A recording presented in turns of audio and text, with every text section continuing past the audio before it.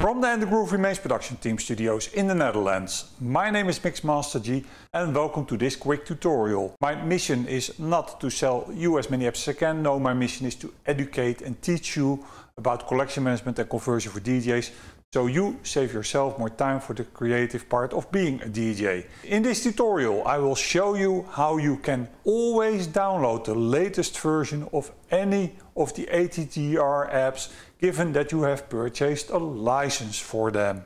The easiest way to re-download the latest version of any ATGR app is searching your email history for the email download confirmation. Just a tip, in the past three years that confirmation email was sent from the reply account atgr at kpnmail.nl.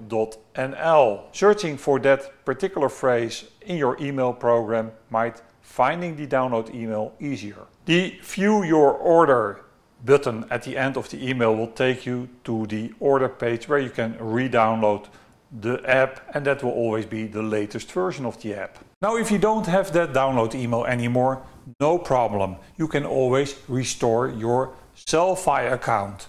www.sellfy.com is the only place on the internet where my apps are sold and it is not my site, it is the distributor of my apps. If you have problems with sellfy.com, then please contact sellfy.com because I don't have much control over that site.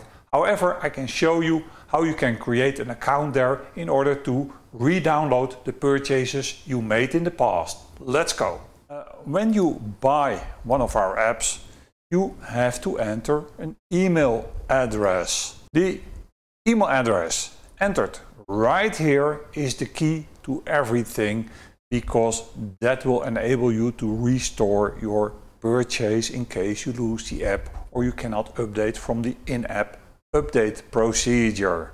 Surf to www.sellfy.com, click login and because we did not create an account, go to the sign up at the bottom of it. Enter the name and the email address used in the purchase of the app. That is not your PayPal email address, but the email address you entered at Sellfy. Then just create a random password you like and create my store. I know you don't want to create a store, but hey, I cannot help it. This is how it works. Now, if you see this page, you can close it. Sellfy will send you an email that you need to confirm in order to establish your identity.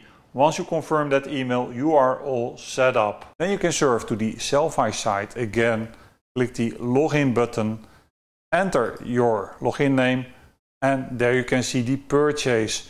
If you try to create an account and that account already exists, then please use the option forgot my password in order to reset your password. That will be sent again to the Sellfy purchase email address. As you can see, there are quite some ways to restore your purchases. If you like what I'm doing, then please give this video the thumbs up and subscribe to the YouTube channel.